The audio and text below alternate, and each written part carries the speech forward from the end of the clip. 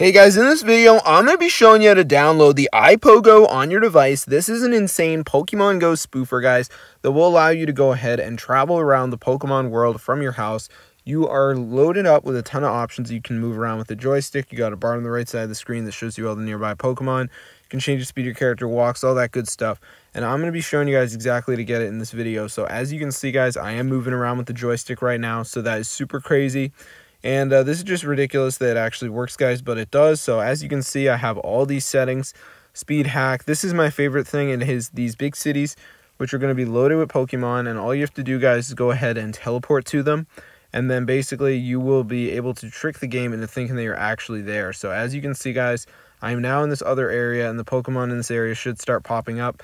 It will take a minute, but the gyms, the Pokestops, the everything in those areas is accessible to you, even though you're not there at the moment.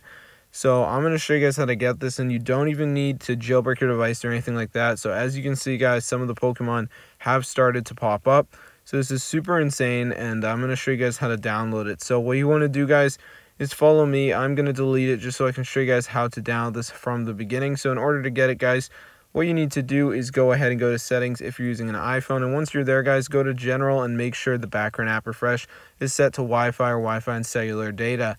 Now, it really doesn't matter, but make sure it's on one of those because if it is set to off, guys, this is not going to work.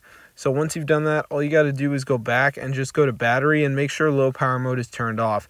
You'll know it's on because your battery percentage will be yellow, so make sure low power mode is turned off. Finally, guys, go to App Store and turn on the automatic downloads. This should be on by default, but if it is turned off, turn it on. So now we're just going to go to the browser and you want to go ahead and go to the site pokemods.net. It has a ton of like different Pokemon Go spoofers. So go to the search bar, put in iPogo, press the download button, and it will start to download onto your device. So let's just give it a minute for it to go ahead and download here as you guys can see. So it is super cool. And uh, there are some people that don't know about this, so I just thought I would make this guide for you. So yeah, this is super crazy.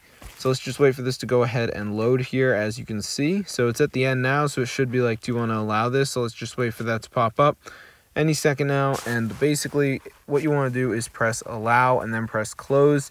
Now we're going to go over to settings and you want to find the profile downloaded message, which should show up at the very top. And you just want to go ahead and press on that. So after you do that, guys, what you want to do is just go ahead and press install. And then we're just to go ahead and put in our password. So after you do that, guys, just go ahead and press next and then press install, final one in red, and now you have the iPogo on your device. So be sure go ahead and try this out for yourself. Get the word out of this method. I'm blown away it actually works, guys, but it does. Super, super cool. It's crazy. I'm to see you later and peace out.